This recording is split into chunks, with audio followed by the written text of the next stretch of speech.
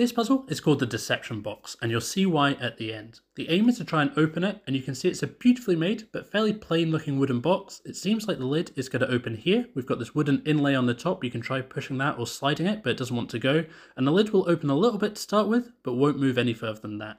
So beyond the inlay, we've got two brass pins. We've got one on this side and one on the other side, and they look like they're the hinge for that lid. Beyond that though, the box is not giving away any clues. So you might think there's a sliding panel or something on this, you can try and find it, but you won't have any luck. Then perhaps there's some kind of internal mechanism that you could release by perhaps spinning it. We'll try that, but again, it doesn't work. So this is more of a trick box. The name of it is a deception box. You'll notice there's a slightly bigger gap on the right side than the left side of the lid. All we need to do is pull out the side.